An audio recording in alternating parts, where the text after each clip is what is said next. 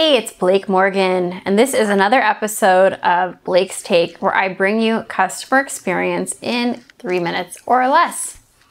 Today, I want to talk to you about internal influence. We're very comfortable with the idea of external influence, right? Celebrities, social media influencers, athletes, they all have tons of Instagram followers, Twitter followers, and all that. But today I'm going to talk to you about something more important for people looking to improve their customer experience, and that is the Chief Customer Officer, or a similar role, someone who has extensive influence within the company.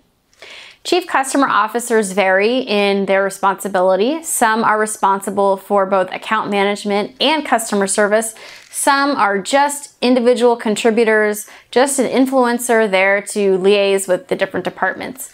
Basically, no matter what the actual um, lineup of your chief customer officer is, it's really important that you have someone within the company who has that internal power, who can really impact change.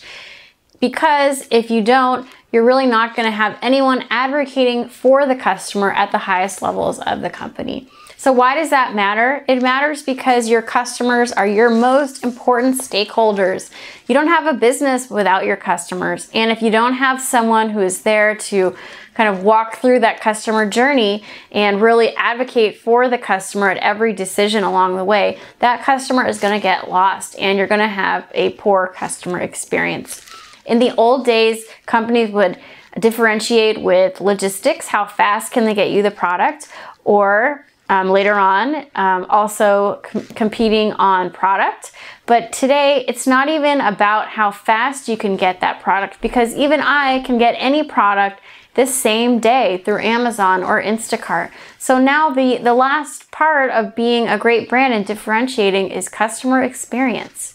And it's just so key that inside the company, you have people who are advocating for that customer experience.